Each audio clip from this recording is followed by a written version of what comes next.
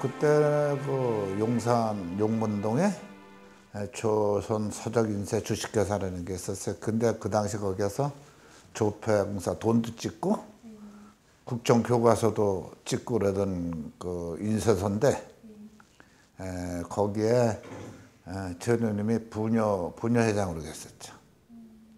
저희 매형은 어, 원효로 상가 어, 대한청년단 단장으로 있었고 그래가지고 그 유교 사회 나고 한 3년 후에 저희 집에 찾아왔을 때 경찰 제복을 입고 왔었다고 그러던데 납북될 때가 유교사 나고 한 그때가 한 7월경쯤 되는데 7월이요? 7월 그러니까 그 우리가 유교사배 나고 어 부곡으로 잠깐 피랑 갔다 왔었거든요. 한 달간 갔다 와가지고 출근해서 그랬으니까 한 7월 7월 아마 한 중순경도 될 거예요. 일자는 자세하지 몰라도 한 한 달 정도밖에 안 됐어요.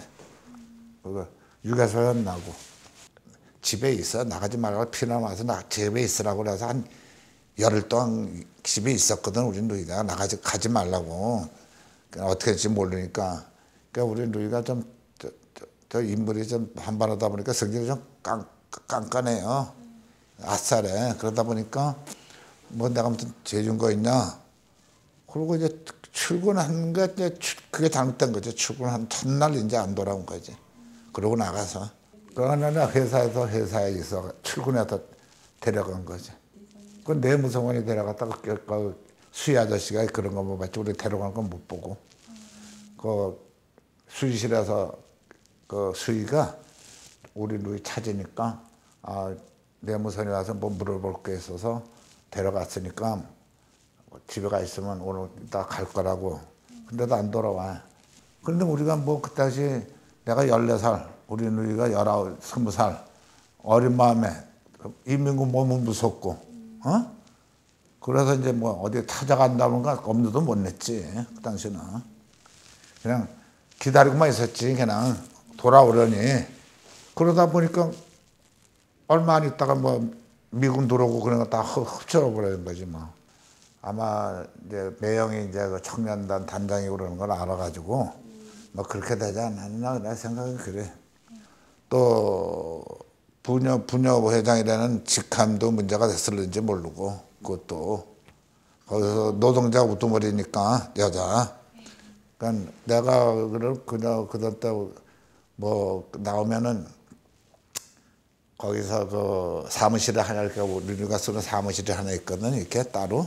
내가 거기도 놀러 가고 그랬었다고 그 사무실에. 지금으로 보면 노동조합 조합장 같은 그런 스타일이야 거기야 사무실이. 거기 있으면 직원들이 있고 거기다 이제 여자 저걸로도 이제 대장인 거지 그게 이제 이를테면은. 그래 이제 그 사무실에 있었고 뭐 그냥 때는 뭐 저거 뭐, 뭐 부장님 부장님 그, 내 기억은 지금 들린 게 회장보다도 부장이라고 그런 기억이 더 귀에 많이 남아 있어. 앞에까지 갔는데 안 들어보네. 들어보내야 뭐 말이지. 아이고 총, 총, 총리고 그냥 어? 그냥 또 그동안에 얼마나 또 무서웠다. 지금 같으면 사람들이 지금도 깨서 뭐 안 무서워하지만 그전 때는 순사 칼만 봐도 무서워했거든. 그 소문난 미인이었었는데 그 당시에.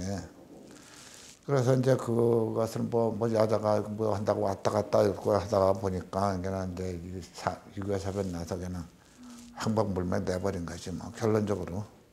그러니까 그 당시가 좀 우리가 좀 크고 그랬으면 똑똑하고 크면 되는데 전부 어리니까 제대로 못하고 그리고 내무사 앞에 가면은 그 당시 사람들이 많이 있었어요. 한두 사람이 아니야 뭐 가족 면회하려고 많이 썼는데 그 안 보네. 뭐 그냥 저거 면 나와서 막그이 딱공청이라고 그러나 총에다 칼낀 거 있지. 그거 이렇게 피워가지고 막막 휘젓고 그래서 그 당시에는 누구 하나 면회 안 돼. 거기서 이제 묶어서 이제 저거면 엮어서 나가는 사람들, 어? 그런 사람들 하러 보지 이제 쭉 엮어서 이제 끌고 나가는 사람들, 뭐 죽이러 가는지 어디로 가는지 그런 거는 이제 우리도 이제 몇 번 봤지. 가서 말도 못 붙여. 이쪽에 가서 쭈그리고 앉아서 혹시나 우리 눈이 나올까 하고 기다리고 보는 거. 배고프면 집에 가서 수제비 먹고 와서 또, 또 여기 가서 기, 기웃거려 보고 저 가서 기웃거려보고 그러는 거 그거밖에 우리 해본 게 없어요. 바라는 게 뭐 있어 이제 어, 이제 뭐 앞으로 좀 세월이 좋아져서 혹시라도 뭐, 뭐 죽었으면 죽었다든가 아직까지 죽은지 안 죽은지 모르잖아요. 그냥 죽었으면 죽었고 아, 살아 있으면 살아 있고 뭐 그가 좀 확실한 걸 알고 싶은 거지 뭐. 누님 그래도 여태까지 살아 계셔서 고맙습니다. 앞으로도 제주 만나서 남매 간의 의를 잊지 않고 했으면 고맙겠습니다.